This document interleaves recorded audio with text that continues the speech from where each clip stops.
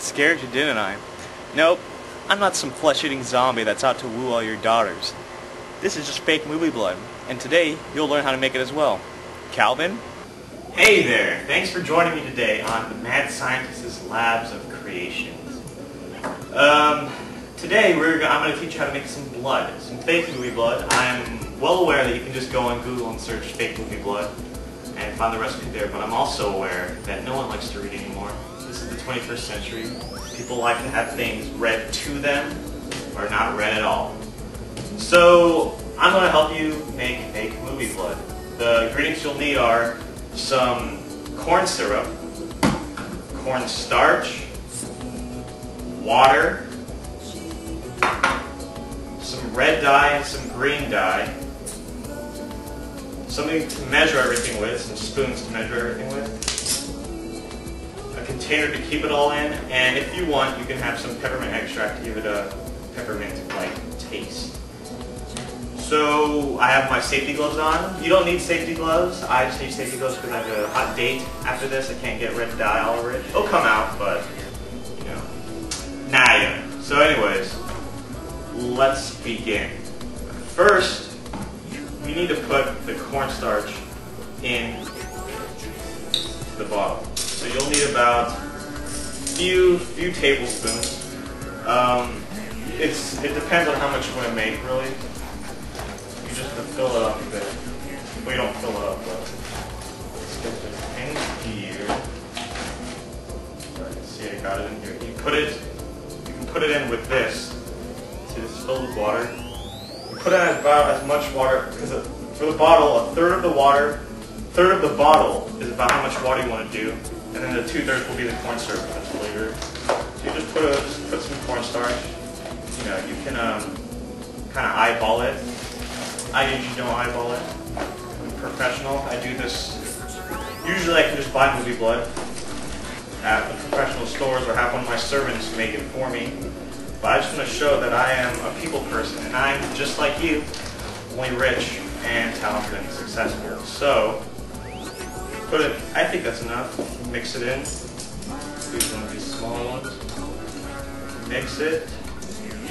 So now that it's mixed, you put it into the water bottle. Now this blood will look very realistic, so you can scare people. And if you want to sue policemen for excessive abuse, you can pretend to cough this up when they lightly touch you. Yeah. So I have the cornstarch and the water mixed in. Now you put the corn syrup.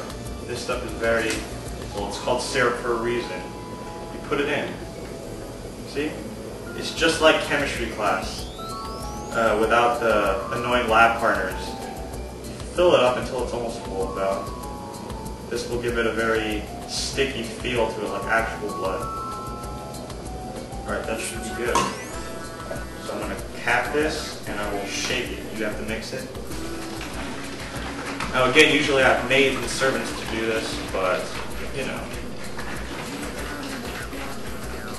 Alright, so when you're done mixing, now is the time to put in the food coloring.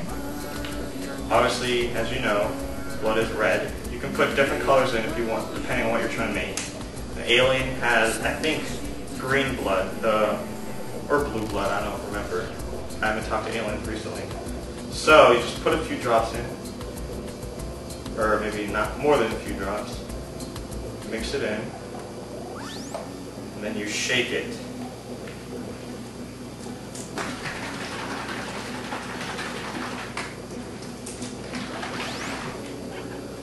Put a few more. You know, you can just guess pretty much. You're smart. Not as smart as me, but so yours shouldn't be too much worse than mine. Of course, mine's always perfect. So, when you're done mixing it, you can tell it's too bright. Blood is not this bright of red. And so that is what the green dye is for. You add the green dye, and that will darken the colors. A few drops do the trick. And then you mix this as well.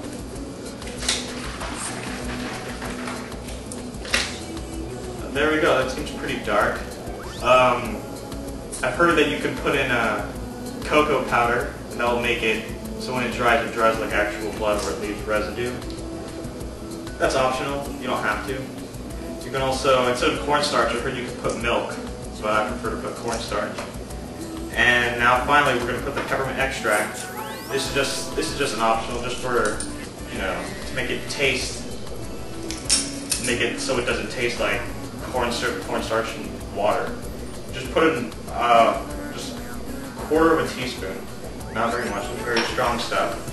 I had a friend who was dared to do to drink a bottle of this, and um, he died. It was kind of it was it was more funny than tragic, but put it in. Now it'll taste minty. This is for I, I prefer it. Uh, I don't accept any other blood in my mouth unless it tastes like mint. If they put in any other thing, I I fire them on the spot. Whoever made it. So you just mix that as well.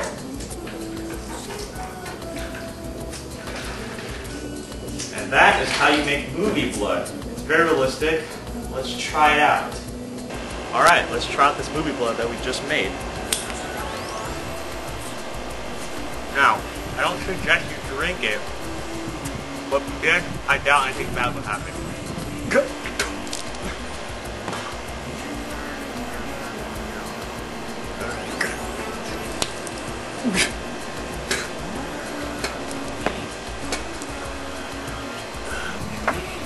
Jose, I'm a happy yet angsty, unsatisfied suburban kid who rides a skateboard and hated since parents.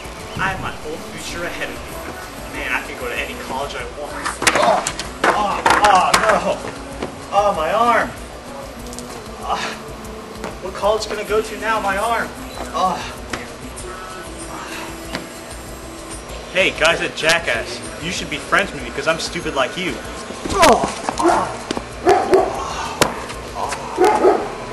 So have you ever seen that movie Carrie? Well, they use pig blood for that final scene, but you can use this stuff too. Ah! I thought I was the prom queen. I thought you guys liked me. I know. I'll kill you all. That'll solve my problems. Okay, so thanks for joining me at the Mad Scientist's Cooking Lab. I think uh, that's a different title I said in the beginning, but it's changed. Um, have a great day and have fun with your blood.